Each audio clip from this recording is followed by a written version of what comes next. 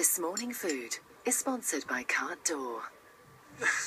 Right, last time, uh, Mr. Selfridge Start, Ian Ockenden, was on the show. He made us a promise, and since it's on tape, we obviously held on to it. You should come in and bake for us. I'd love to.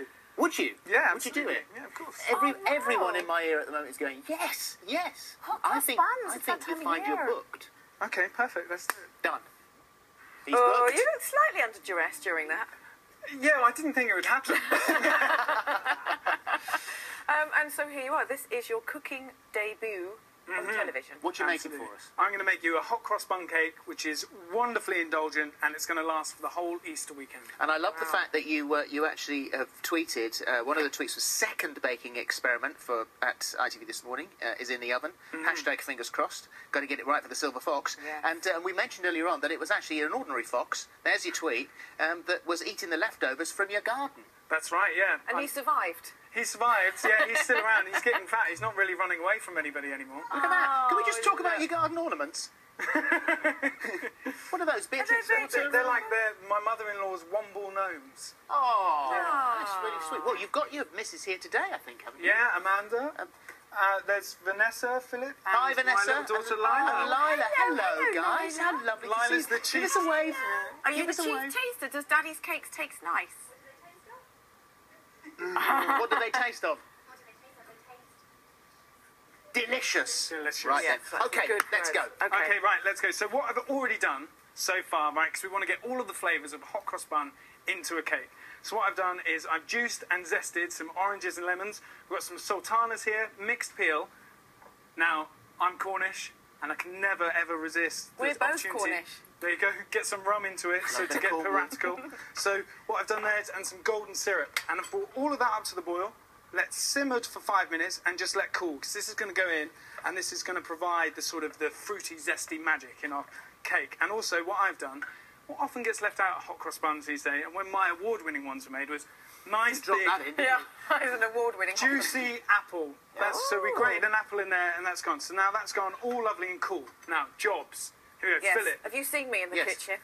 We've got you um, relatively simple Good, task, good. Amanda. So that's just some really strong, nice um, bread flour. Yeah. And I want you to sieve that with uh, this cinnamon, nice generous amount of cinnamon, because all of the spices of hot cross buns, and some bicarbonate of soda. I can do that. now, That's- Philip, that's for you, That you've got some doable. buttermilk here, which Yeah. works against the bicarb of soda Yeah. really well, because that's what acts the leavening agent, the acidity in the buttermilk. Right. So then you're going to get two eggs, crack them in there, whisk that up with a bit of vanilla. Now, I'm going to get busy with the main sort of beery batter. Now, what we've got here is some melted butter, and I'm going to put this golden ale into this butter here, All right. and we're going to mix all of that together. That is done when you need it. Whilst uh, we're doing this, let me just say that if you fancy having a go yourself, we've got some supermarket offers uh, that'll cross your screen right now so you can pick up a few bargains. And Leon, is it true that you actually wooed Vanessa, your wife, through your baking? I think that was the only thing that got me across the line, really. with regards to, she wasn't interested until she tasted my cakes. How much? Uh, how much vanilla? Just a little little drop of vanilla in there. Just a tad. Yeah. That's beautiful.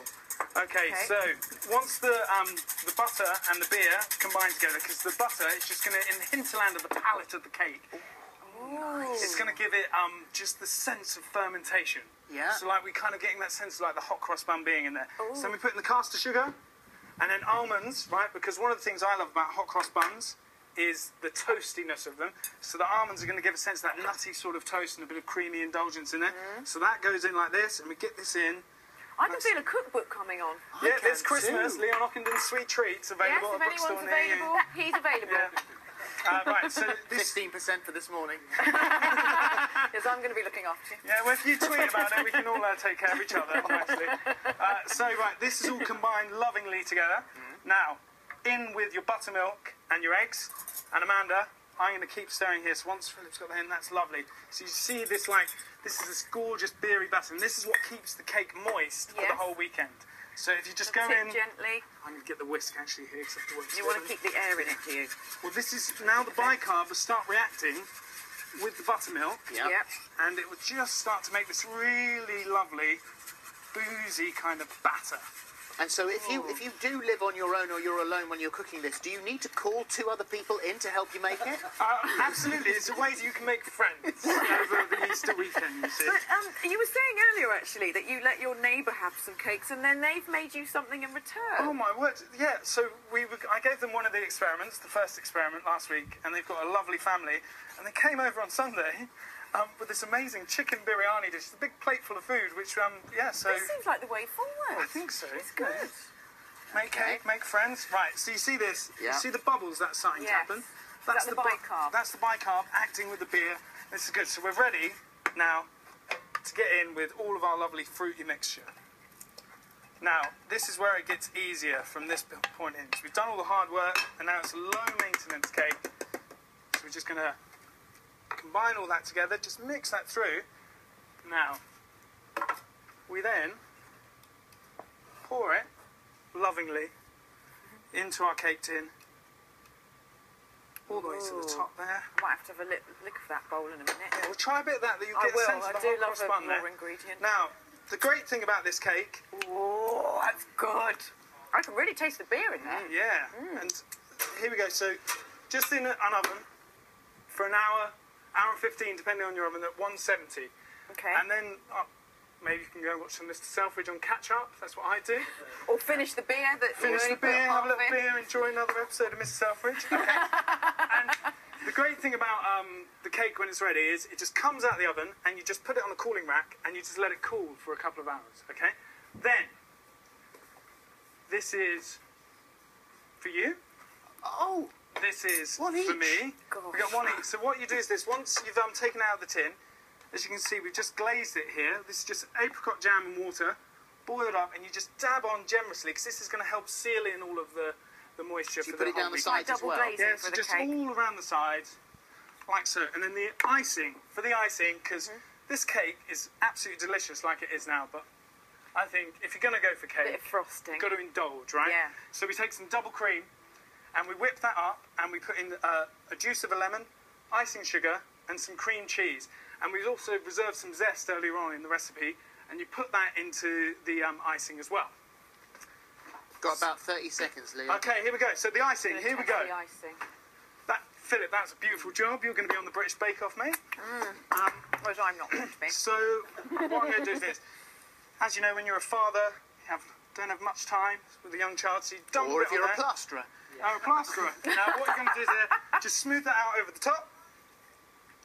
I'll do the same there. Just the top. Just yeah, just keep it nice You've been and rough told on the about top. me, haven't you? I'm literally I've been kept out of the way. Now, what to make it a little bit more hot cross bunny? Uh, you, that's lovely, Philip. Get that stencil on, mate, and shake over some of that cocoa powder. Very good. Now, obviously, you can do this cake for um, Easter weekend, or if you're me, I'm going to make one tomorrow and keep it for what's known in my house as Selfridge Sunday. so I have a slightly different finish to go on top. Oh. As you can see, Philip, hot cross bun cake done. Excellent, Nailed. Philip. Result. That's brilliant. And then for Selfridge Sunday, hopefully, something. You- you- You're telling me that this is Jeremy Piven. I hope so. I mean, This is not. You should have done Sergei de Bolotoff. Oh! Yay! Oh Look my at gosh! and he looks a bit younger in that, so he'll be happy He does. that. I'm very pale. We He's a lot uh, browner in real I life. can't remember the last time, in fact, we ever did this, but uh, for our chef, a round of applause. Oh, was didn't you do genius. Vanessa? She did so Absolutely brilliant. And uh, what's the show that's on this weekend? Uh, Miss Selfridge, Oh, yeah. PBS TV. Season finale begins in America on PBS this Oh, weekend that's it. as well. We'll lose you now. Well you'll, you'll disappear off. Absolutely. We're, uh, we'll try this uh, in the break. Um, uh, still to come, and no question that Leon's cake has a, a few calories in it. Uh, but what exactly is a calorie, and how do we burn them, and uh, how can we consume less?